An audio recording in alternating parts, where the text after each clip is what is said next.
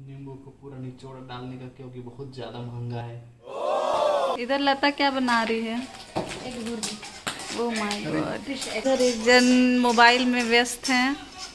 Motorola दोनों भाई बहन के बीच में कंपटीशन हो रहा है ज़बरदस्त वाला। ठीक है welcome back to my YouTube channel Minaj vlog में सबका स्वागत है और आज का व्लॉग एकदम डिफरेंट होने वाला है बाकी दिन के तौर पे।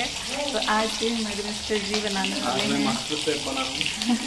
और आप यहाँ देख सकते हैं इधर दिखाओ कैमरा इधर देखो। इधर है बहुत सारा चीज़ और इधर भी देखो।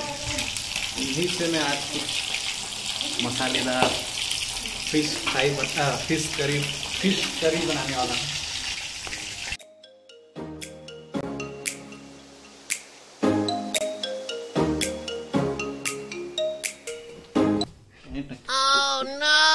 हूँ नींबू न संभल रहे इनसे चले हैं फ़िश करी बनाने। आज बाबू के पापा मछली बनाने वाले हैं। नींबू को पूरा निचोड़ डालने का क्योंकि बहुत ज़्यादा महँगा है। दस रुपये में ओनली थ्री आता है। ओ एम जी मैरिनेट करने के लिए मैंने रेडी कर दिया है देख सकते हैं कितना अच्छा लग रहा है। शक्ल दिखाइए। कम से कम दस मिनट के लिए। उससे क्या होगा? इससे जो मसाला इसमें मिला हुआ है अच्छे से इसमें थोड़ा सा जम जाएगा।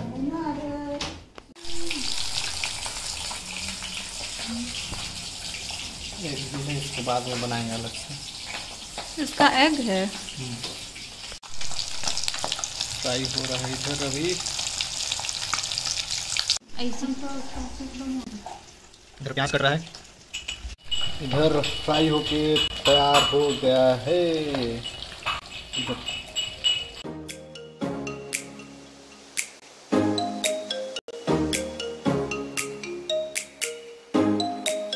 बनाने के लिए मैं कलश का सरसों तेल यूज़ कर रहा हूँ क्योंकि मुझे अच्छा लगता है।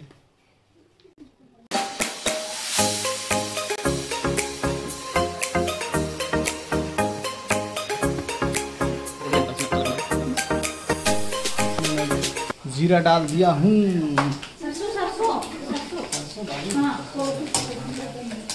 इधर लता क्या बना रही है?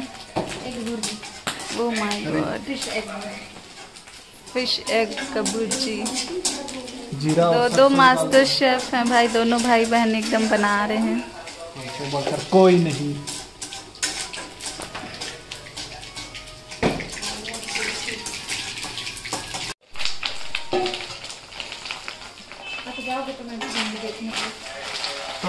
में पूरा खड़ा मसाला डाल दी हूँ वन बाय वन तो प्याज डाल दिया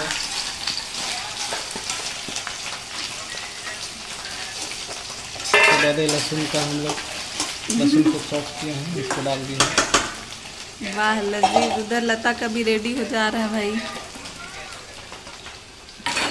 और उसके बाद इसमें अपने नाम हाँ। उसके बाद उसको बाद ये अदरक का है। इसको भी हम लोग डाल देते हैं।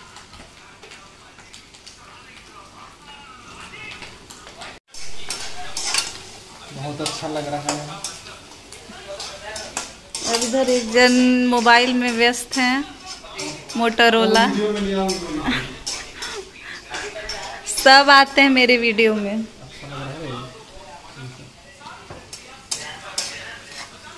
अच्छा एक पीस का इतना सारा है। एक पीस इतना निकलता है सोचो। हम्म। तो कभी घटेगा मछली मछली। सही में यार इतना सारा